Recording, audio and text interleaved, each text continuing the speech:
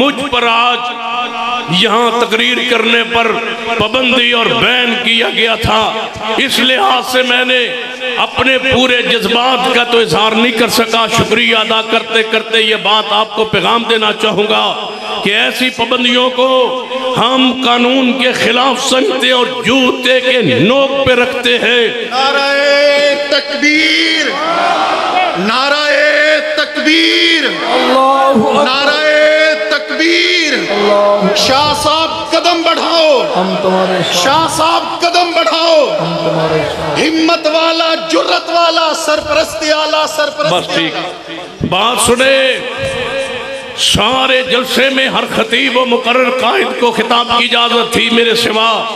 लेकिन आज आपकी इस अजीम जनाब आपकी आमद को देख कर मुझसे रहा ना जा सका कि आपसे चंद अल्फाज कहे बगैर मैं स्टेज को क्लोज कर दूँ और हज़रत अलामा साहब के हवाले माइक को कर दूँ। लिहाजा मैं आखिरी ये पैगाम आपसे दे, आपको देना चाहूँगा।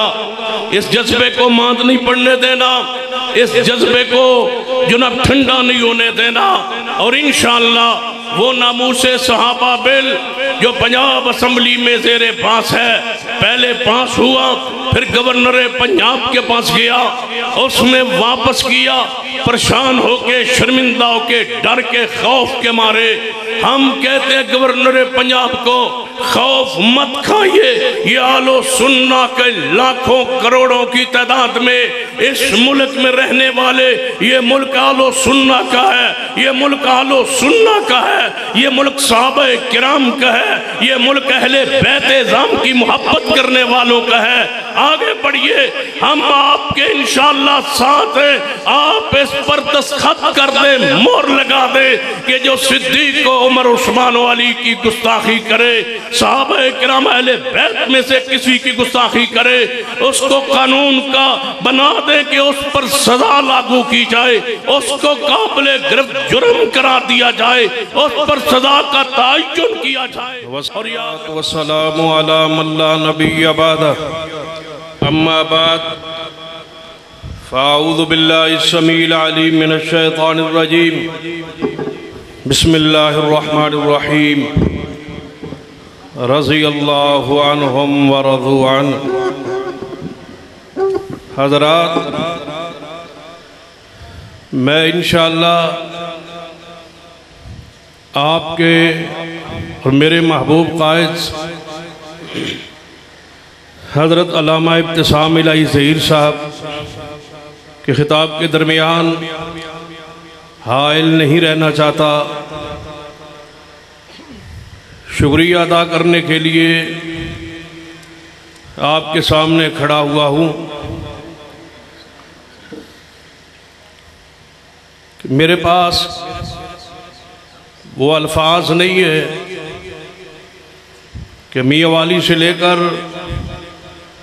फैसलाबाद तक एक एक फ़र्द का शुक्रिया अदा कर सकूँ। सिर्फ़ यही कहूँगा कि आपकी मोहब्बत को सलाम पेश करता हूँ कि आपने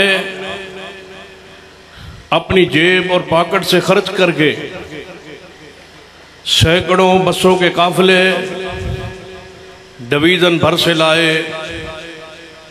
नाम गिनना चाहूँ तो नहीं गिन पाऊँगा। इसलिए तमाम अहबाब का बगैर नाम लिए शुक्रिया अदा करने के साथ इस कॉन्फ्रेंस जिसको ख़त्म नबूवत के हवाले से शरबत चौक के इस तारीख़ी मुकाम पर, जिसका नाम शरबत चौक मशहूर तो हो चुका है, लेकिन कानूनी तौर पर ख़त्म हो चुका है, और इस चौक का नाम सिद्दीक अकबर चौक है। मैं आज उन असलाफ के लिए, अकाबरीन के लिए और इस्लाम के लिए दुआ करना चाहूँगा। कि अल्लाह उनकी कब्रों को जो फौत हो चुके, रोशन फरमा दे जिन उस चौक का नाम सिद्दीक अकबर चौक रखा। और इन इस चौक की तारीखी इस हैसियत को मैं उन अल्फाज को भी आज तक नहीं भूल सका। ख़तीब एशिया हज़रत कारी अब्दुल हफीज़ फैसलाबादी इसी चौक पे खड़े होके एक घंटा वाज किया था नबी और सिद्दीक के उनवान पर। अल्लाह उनकी कब्र पे करोड़ों रहमत नादिल फरमाए। आपने मेरे मान को बढ़ाया है और मैं यकीन से अब कह सकता हूँ कि 16 अक्टूबर धोबी घाट में जो मरकजी जमीयत अहल हदीस जलसा करने जा रही है अपनी सियासी कुत के मुजहरा के लिए, अहल हदीसो ये वक्त है अपनी कुत के मुजाहरे का। जिस तरह आज डिवीज़न के पर से आए हुए लोगों ने अपनी अफरादी कुत के लोहा मनवाया है कि अगर हम किसी से ज़्यादा नहीं तो किसी से कम भी नहीं। और इन ये हमारी आवाज़ पर, ये काल पर हज़ारों का इज्तम इन इसी तरह धोबी घाट फैसलाबाद, जो 16 अक्टूबर को जलसा होने जा रहा है, अपनी सियासी कुत भी इन मनवा के छोड़ेंगे।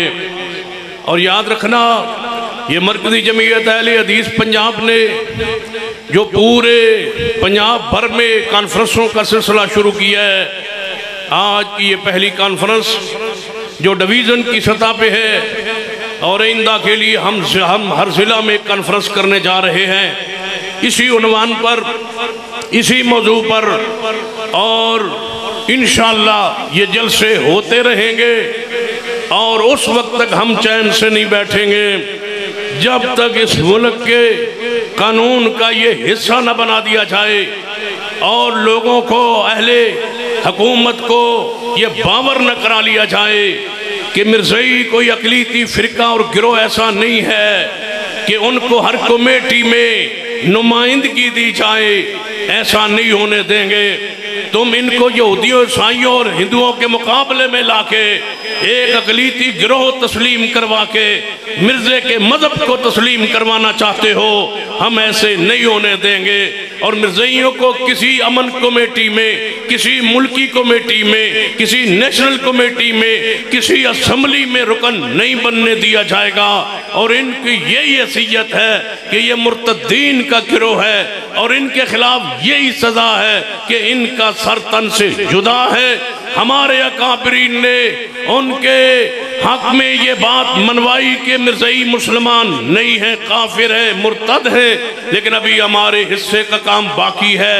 हमने इस असम्बली से ये बात मनवानी है कि ये अकलीती फिरका नहीं, बल्कि मुर्तदीन का गिरोह है। और अगली बात सुन ले अजमत सहाबा के हवाले से मरकजी जमीयत अली हदीस पाकिस्तान ने पूरे मुल्क में अपनी कुत को मनवाया है और हमने साहब रसूल की इज़्ज़त और अजमत और नामोश पर बेशुमार जलसे कर चुके हैं और रैलियाँ निकाल चुके हैं। और ये सिलसिला जारी रहेगा।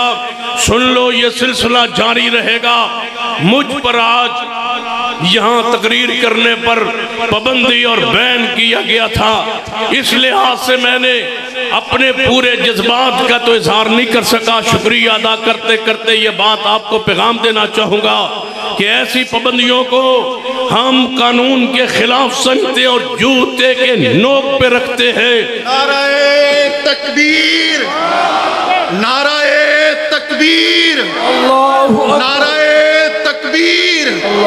शाह साहब कदम बढ़ाओ। हम तुम्हारे शाह साहब कदम बढ़ाओ। हम तुम्हारे हिम्मत वाला जुर्रत वाला सरपरस्ती आला सरपरस्ती बात सुने। सारे जलसे में हर खतीब व मुकर कायद को खिताब की इजाज़त थी मेरे सिवा। लेकिन आज आपकी इस अजीम जनाब आपकी आमद को देखकर मुझसे रहा ना जा सका कि आपसे चंद अल्फाज कहे बगैर मैं स्टेज को क्लोज कर दूँ और हज़रत अलामा साहब के हवाले माइक को कर दूँ। लिहाजा मैं आखिरी ये पैगाम आपसे दे, आपको देना चाहूँगा। इस जज्बे को मांद नहीं पड़ने देना इस जज्बे को जुनब ठंडा नहीं होने देना। और इन वो नामू से सहाबा बिल, जो पंजाब असम्बली में जेर पास है।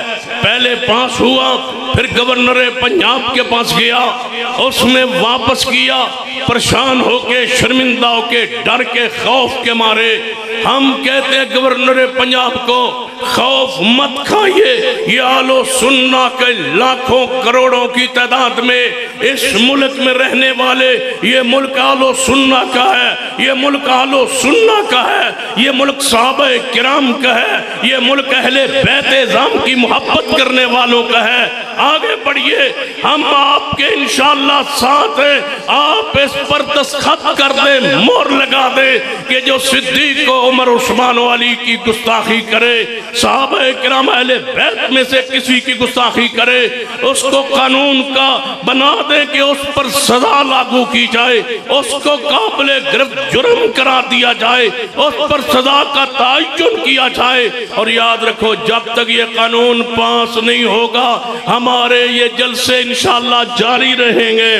और इंशाल्लाह पूरे पंजाब का दौरा करके, जलसे करके आखिरी जलसा माल रोड लाहौर पे होगा इन और उस वक्त तक ये आले हदीस के अफराद इंशाल्लाह वापस नहीं आएँगे जब तक सिद्दीक की इज़्ज़त का कानून नहीं बन जाता।